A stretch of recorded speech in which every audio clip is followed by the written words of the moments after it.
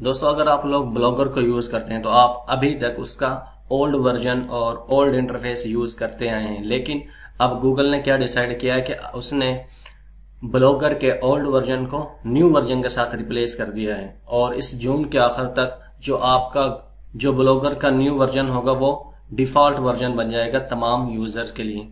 तो इस new version में गूगल ने जितनी भी अपडेट्स की हैं और जितने भी न्यू फीचर्स उसने लॉन्च किए हैं वो तमाम मैं आपके साथ इस वीडियो में डिस्कस करने वाला हूँ कि किस तरह हम लोग अपनी पोस्ट में वीडियो को एम्बेड कर सकते हैं, हम किस तरह न्यू थीम को अपलोड कर सकते हैं, किस तरह हम लोग इमेज को वहाँ पे ऐड कर सकते हैं और इसके अलावा काफ़ी ज़्यादा फीचर्स जो गूगल ने ब्लॉग में ब्लॉगर में ऐड किए हैं, वो हम इसमें डिस्कस करेंगे। तो ये ब्लॉगर का ओल्ड वर्जन है जो आपके सामने स्क्रीन पर दिखाई दे रहा है। यहाँ पे आप देख सकते हैं कि यहाँ पे एक नोटिफिकेशन आया हुआ है। In late June the new Blogger interface will become the default for all user मतलब इस जून के आखिर तक जो ब्लॉगर का न्यू इंटरफेस है, वो तमाम यूज़र्स के लिए डिफ़ॉल्ट इंटरफेस बन जाएगा। अगर मैं नए वर्जन में जाना चाहूँ तो मैंने क्या करना है यहाँ पे? ट्राई द न्यू ब्लॉगर पर क्लिक करना है।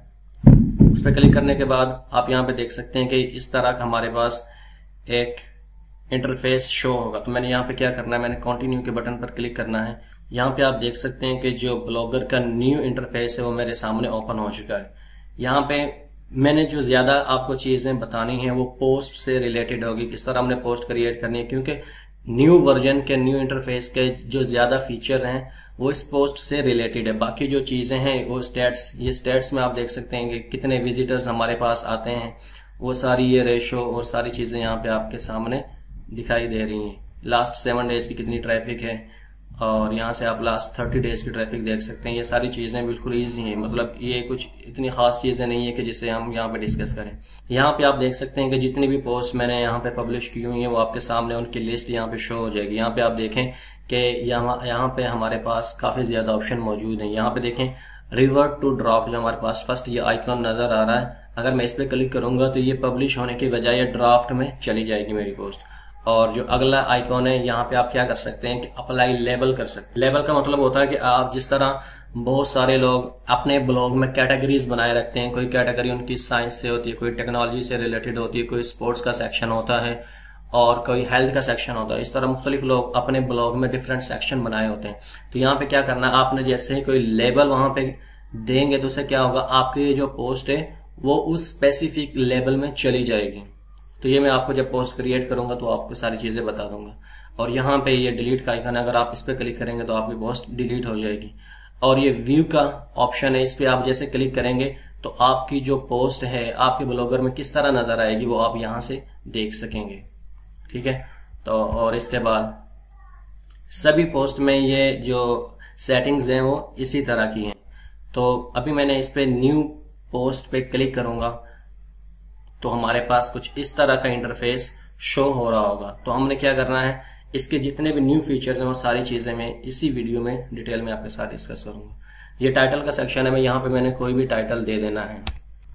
यहाँ पे जिस तरह मैं देता हूँ माई फ़र्स्ट टाइटल ये हमारा टाइटल हो गया और यहाँ पे मैं कुछ भी लिख देता हूँ।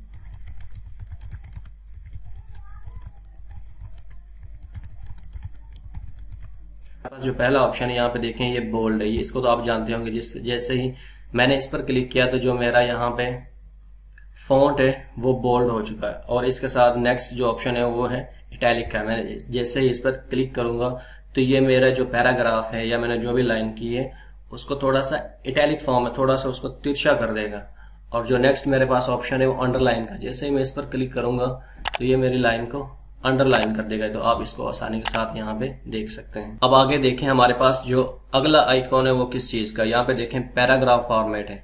आपने जो यहाँ पे चीज़ें लिखी हुई है, आपने उन्हें किस फॉर्मेट में करना है? यहाँ पे देखें, जैसे मैं मेजर हेडिंग पे क्लिक करूँगा तो ये एक हेडिंग के तौर पर इस लाइन को शो करेगा। ठीक है? मैं इसको दोबारा सिलेक्ट करता हूँ और देखता हूँ नेक्स्ट हमारे पास क्या है। ये हेडिंग टू है। ये सारी चीज़ें आप पिछले जो वर्जन था, इसका ब्लॉगर का ओल्ड वर्जन है, वहाँ पे भी आपने ये सारी चीज़ें देखी होंगी। तो ये आपके लिए कोई न्यू चीज़ नहीं है। तो बजाय में इस चीज़ को डिस्कस करने के, जो नेक्स्ट हमारे पास आइकॉन है, उस पर जाते हैं। यहाँ फोर्ट साइज़ है। यहाँ पे आप इसके फोर्ट के साइज़ को इंक्रीज या डिक्रीज कर सकते हैं। आप इसको लार्ज कर सकते हैं लार्जेस्ट कर सकते हैं नॉर्मल स्मॉल स्मॉलेस्ट जो आपने इसका साइज़ लेना है, वो यहाँ से आप सिलेक्ट कर सकते हैं। और इसके बाद जो हमारा अगला आइकॉन है, वो है फ़ोन टाइप का। आपने किस टाइप का फॉन्ट यूज़ करना है? एरियल करना है या जॉर्जिया जो भी आपने यूज़ करना है, वहाँ यहाँ से आप लोग सिलेक्ट कर सकते हैं। तो इसके बाद हमारे पास अगला ऑप्शन है टेक्स्ट का कलर कि आपने किस टाइप का कलर आपने यूज़ करना है। तो यहाँ से आप अपने टेक्स्ट को कोई भी कलरिंग दे सकते हैं। बाय डिफ़ॉल्ट जो होता है, वो ब्लैक होता है। और इसके बाद ये जो टेक्स्ट का बैकग्राउंड है, वो जो बैकग्राउंड है, यहाँ पे देखें जिस तरह अभी जो बाय डिफ़ॉल्ट है, वो व्हाइट बैकग्राउंड है मेरी पोस्ट का। अगर आप लोग इसको भी चेंज करना चाहे तो वो भी यहाँ से चेंज कर सकते हैं। आगे यहाँ पे देखें अनडू ये सारी चीज़ें जो अभी तक मैंने बताई हैं, ये ओल्ड वर्जन में भी बिल्कुल इसी तरह से थे, लेकिन यहाँ पे इसका जो इंटरफेस है वो थोड़ा सा मुख्तलिफ़ है। इसको अनडू कर सकते हैं मतलब ये एक स्टेप बैक चला जाएगा। रीडू करना है कि आपने जो रिसेंटली चेंजेस की होंगी, वो उन्हें खत्म कर देगा। अच्छा यहाँ पे एक चीज़, ये नई चीज़ आई है इंक्रीज इंडेंटेशन जैसे ही मैंने इंक्रीज इंडेंटेशन पे क्लिक किया है तो इससे क्या होगा देखें, आप ये जो हमारी लाइन जहाँ से शुरू हो रही है तो उसने वहाँ से स्पेस जनरेट कर दी है। और इसके साथ वाला जो ऑप्शन है, इसका मतलब डिक्रीज इंडेंट इससे क्या होगा कि जो हमने स्पेस अभी क्रिएट की है, वो उसको वापस उसकी ओरिजिनल पोजीशन पर ले जाएगा। ठीक है, इसके बाद जो अगला ऑप्शन है, वो बुलेटेड लिस्ट आप किसी भी चीज़ के लिस्ट बनाना चाहते हैं तो आप यहाँ से इजीली वो लिस्ट बना सकते मिसाल के तौर पर मैं यहाँ पे लिखता हूँ लिस्ट ऑफ़ फ्रूट्स और मैं इसको क्या करता हूँ, इसको एक हेडिंग दे देता हूँ। यहाँ पे मैं फ्रूट्स की एक लिस्ट बनाने लगा हूँ।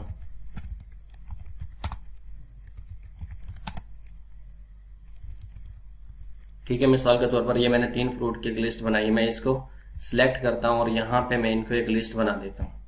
यहाँ पे देखिए, इस तरह की लिस्ट शो हो रही होगी और ये साथ वाला जो हमारे पास आइकन है, ये एक नंबर्ड लिस्ट है। इस पर जैसे ही मैं क्लिक करूँगा यहाँ पे देखिए पहले वो डोट्स के साथ लिस्ट शो हो रही थी और अभी यहाँ पे नंबरिंग लिस्ट शो हो रही है। तो इसमें दोनों में सिर्फ़ ये फ़र्क। और इसके बाद जो हमारा अगला आइकॉन है, वो है लिंक का। मिसाल के तौर पर मैं यहाँ पे, मैंने लिखा पाकिस्तान और मैं पाकिस्तान के साथ एक लिंक अटैच करना चाहता हूँ। तो मैंने लिंक पर क्लिक करना है और मैंने एडिट यूआरएल करना है। तो यहाँ पे आपने पाकिस्तान के साथ जो भी लिंक अटैच करना है, वो यहाँ पे आप अटैच कर सकते हैं। मिसाल के तौर पर मैं यहाँ पे लिखता हूँ। H T D P S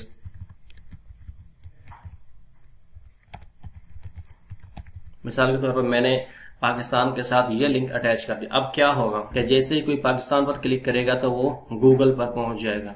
और यहाँ से मैं इस ऑप्शन को सिलेक्ट कर लेता हूँ कि बाद मैंने ओके पर क्लिक कर दें सर, आप लोग अपनी किसी भी वेबसाइट के साथ, किसी न्यू पेज के साथ आप लिंक अटैच कर सकते हैं। अच्छा यहाँ पे और अगला जो हमारे पास फीचर है, वो आप यहाँ पे देख सकते हैं इमेज आपने इमेज किस तरह इंसर्ट करनी है। अच्छा बहुत से लोगों को यहाँ पे मसला होता है कि उनकी इमेजेस ब्लॉग में शो नहीं हो रही होती। वो इमेजेस अपलोड तो करते हैं, लेकिन जब उसका प्रीव्यू में जाते हैं तो वहाँ पे देखते हैं कि उनकी इमेजेस शो नहीं हो रही होती। अगर आप लोगों को भी सेम इशू फेस करना पड़ रहा है कि आप लोग जो इमेज वहाँ पे इंसर्ट करते हैं, वो आपके पोस्ट में शो नहीं हो रही तो आप लोगों ने क्या करना अगर आप लोग एड ब्लॉकर का यूज़ कर रहे हैं तो आपने एड ब्लॉकर को डिसेबल कर देना है।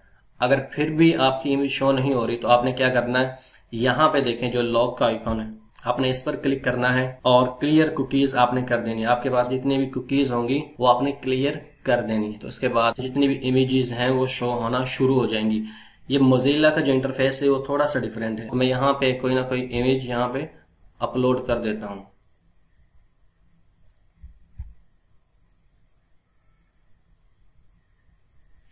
मैं इस इमेज को लेता हूँ और मैं इसको अपलोड कर देता हूँ। अब यहाँ पे देखें मेरे पास इमेज आ चुकी है। इस न्यू इंटरफेस में ब्लॉगर के इस न्यू इंटरफेस में आप लोग इस हाइट और विथ आप अपनी मर्ज़ी के साथ सेट कर सकते हैं। इसके अलावा अगर आपने इस यहाँ से नहीं करने तो आप क्या करेंगे? ये जो हमारे पास पेंसिल का आइकन है, आपने यहाँ से इस पर क्लिक करना है और यहाँ पे आप देख सकते हैं कि इसको मीडियम साइज़ में रखना है, large size, max large size में। आपने जो इसका साइज़ रखना है, वो आप लोग यहाँ से सिलेक्ट कर सकते हैं। और यहाँ पे ऑल टेक्स्ट आप देख सकते हैं। ऑल टेक्स्ट का मतलब होता है अगर किसी वजह से आपकी जो पिक्चर है, वो शो नहीं हो रही तो आप क्या यहाँ पे जो आप टेक्स्ट देंगे, वो आपकी पिक्चर की जगह पे शो होगा। उसके बाद मैंने इसको अपडेट कर देना है। यहाँ पे अगर आपको इसको लेफ़्ट साइड में करना है तो लेफ़्ट साइड में कर सकते हैं। अगर आप इसको सेंटर में करना चाहें तो आप यहाँ से सेंटर में कर सकते हैं। जो मेरे पास अगली ऑप्शन है, वो है इंसर्ट वीडियो मिसाल के तौर पर मैं कोई वीडियो यहाँ पे इंसर्ट करना चाहता हूँ तो मैं क्या करूँगा? यहाँ पे इंसर्ट वीडियो के ऑप्शन पर क्लिक करूँगा और अपलोड फ्रॉम कंप्यूटर या यूट्यूब जहाँ से आप वीडियो को अपलोड करना चाहते हैं, वहाँ उस चीज़ को आपने सिलेक्ट करना मिसाल के तौर पर मैं यूट्यूब से किसी भी वीडियो को इम्बेड करना चाहता हूँ। यूट्यूब पर क्लिक करने के बाद आपके पास कुछ इस तरह का इंटरफेस शो होगा। आपने फिर यहाँ पर जो वीडियो आपने इम्बेड करनी है, उसको यहाँ पर सर्च करना है। मिसाल के तौर पर मैं यहाँ पर सर्च करता हूँ मुंबई मिसाल के तौर पर अगर मैं इस वीडियो को अपनी पोस्ट में एम्बेड करना चाहता हूँ तो मैं सिंपली इस पर क्लिक करूँगा। और यहाँ पर इंसर्ट के बटन पर क्लिक कर दूँगा। अब यहाँ पे आप देख सकते हैं कि ये वीडियो मेरी पोस्ट में एम्बेड हो चुकी है। अब यहाँ पे आप इसकी जो हाइट और विर्थ अपनी मर्ज़ी के साथ सेट कर मैं इस पर क्लिक करता हूँ और यहाँ पे आप देखें हमारे पास जो पहली ऑप्शन है वो है स्ट्राइक थ्रू की। अच्छा स्ट्राइक थ्रू का मतलब क्या है? मैं यहाँ पे कोई चीज़ पहले लिख देता हूँ। मिसाल के तौर पर मैं यहाँ पे लिख देता हूँ। पाकिस्तान ही मैं यहाँ पे लिखता हूँ। मैं इसको सिलेक्ट करता हूँ और इसके बाद मैं स्ट्राइक थ्रू पर क्लिक करता हूँ। स्ट्राइक थ्रू पर क्लिक करने से क्या होगा कि जो आपका वर्ड होगा उसके दरमियान ये एक लाइन ड्रॉ कर देगा। अगला ऑप्शन हमारे पास है कूड टेक्स्ट का। तो यहाँ पे अगर मैं लिखता हूँ Pakistan is an Islamic country ठीक है? अभी मैंने ये लिख दिया है तो ये एक कू टेक्स्ट के अंदर शो हो रहा होगा। मैं आपको यहाँ पे इसका प्रीव्यू दिखा देता हूँ कि ये किस तरह हमारी जो पोस्ट है वो किस तरह की नज़र आ रही होगी। यहाँ पे देख सकते हैं आप लोग। ये हमारी इमेज है जो हमने लोगों ने ऐड की थी, और ये हमारी वीडियो है जो हमने ऐड की थी। और यहाँ पे देखें, ये स्ट्राइक थ्रू था। और यहाँ पे देखें ये कोड टेक्स्ट है जो हम लोगों ने ऐड किया है। अब मैं देखता हूँ हमारे पास जो अगला ऑप्शन है वो कौन सा है। फॉर्मेट एज अ कोड तो उसको एज अ कोड की फॉर्मेट में उसको चेंज कर देगा। आप लोग ये खुद से इन चीज़ों को प्रैक्टिस करेंगे तो आपको ज़्यादा अच्छा आइडिया हो जाएगा। अच्छा क्लियर फॉर्मेटिंग पे आप जैसे ही क्लिक करेंगे तो आपकी इस सिलेक्टेड लाइन में जितनी भी आपने फॉर्मेटिंग की होगी वो क्लियर हो जाएगी। अच्छा यहाँ पे देखें अगला ऑप्शन हमारे पास है फॉर्मेट लाइन स्पेस अगर आप अपनी लाइनों के दरमियान जो आपने लिखी हुई है, उनके दरमियान आपने कितनी स्पेस रखनी है तो आप यहाँ से स्पेस को इंक्रीज या डिक्रीज कर सकते हैं।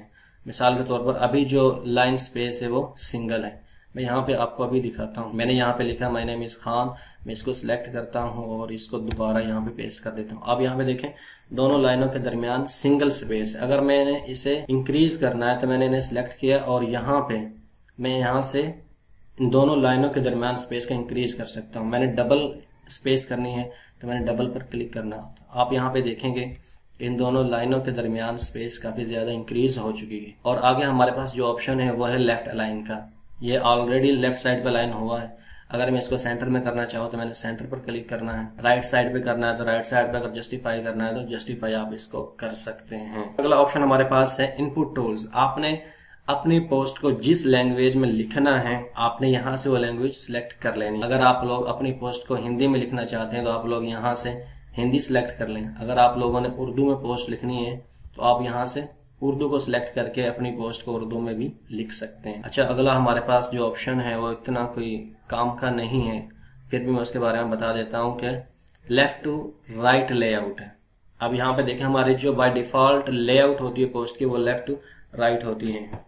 अगर आप इसको राइट टू लेफ़्ट भी करना चाहे तो आप यहाँ से उसको कर सकते हैं। मैं इस लेआउट को लेफ़्ट टू राइट ही रहने दे। तो दोस्तों, अब हम तकरीबन न्यू फीचर्स जो ब्लॉगर के गूगल ने इंट्रोड्यूस कराए हैं, वो तकरीबन हम तमाम कवर कर चुके हैं। तो यहाँ पे हम देख सकते हैं, अगर यहाँ पे एच व्यू पर क्लिक करेंगे तो हमारा जो एच की कोडिंग में जिस तरह का व्यू शो हो रहा होगा तो वो इस तरह का होगा। अगर आप लोग प्रोग्रामिंग नहीं जानते तो आप लोग यहाँ पे कोई चेंजिंग वगैरह मत करना। मैं आपको यही रिकमेंड करूँगा। तो यहाँ पर क्लिक करके आप इस पोस्ट को सेव कर सकते हैं। और यहाँ से आप पोस्ट को पब्लिश करने से पहले उसको प्रीव्यू कर सकते हैं कि आपकी पोस्ट किस तरह से शो हो रही होगी आपके ब्लॉग पर। और यहाँ पे आप जब क्लिक करेंगे तो ये पोस्ट पब्लिश हो जाएगी। इसमें बाकी जितने भी ऑप्शंस हैं, वो आपके पास जो ब्लॉगर का पुराना वर्जन था, उसमें भी ये सेम ऑप्शंस मौजूद थे। तो इसको प्रीव्यू पोस्ट पर क्लिक करता हूँ तो आप लोग यहाँ पे जो इसका लुक किस तरह दिख रहा होगा तो आप यहाँ पे इजीली देख सकते हैं कि हमारी पोस्ट अब इस तरह से दिख रही होगी। ठीक है।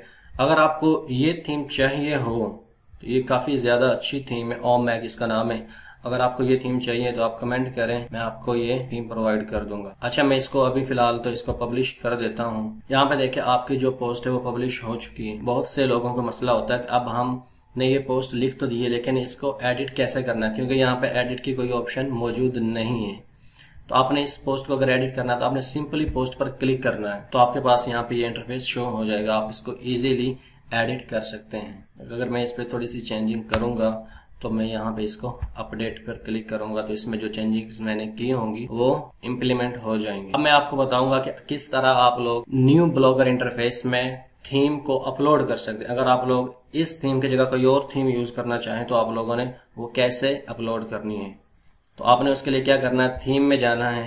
थीम में जाने के बाद आपने यहाँ पर थ्री आइकॉन पर क्लिक करना है और यहाँ पर आपने रीस्टोर पर जैसे क्लिक करेंगे तो आपके पास यहाँ पर अपलोड के ऑप्शन है। आपने जिस थीम को अपलोड करना है, आप यहाँ से अपलोड कर सकते हैं। मैंने अपलोड के बटन पर क्लिक करता हूँ। अगर आपके पास कोई थीम पड़ी हुई है तो आपने उसके एग्ज़ाम्पल जो फ़ाइल होगी, उसको सिलेक्ट करके अपलोड कर देना है। अगर आप लोगों को कोई भी मसला है तो कमेंट में अपना मसला बताएँ, मैं आपका वो इशू सोल्व कर दूँगा। कोई भी प्रीमियम थीम फ्री में चाहिए हो तो आप कमेंट कर दें, मैं आपको वो थीम ज़रूर प्रोवाइड कर दूँगा।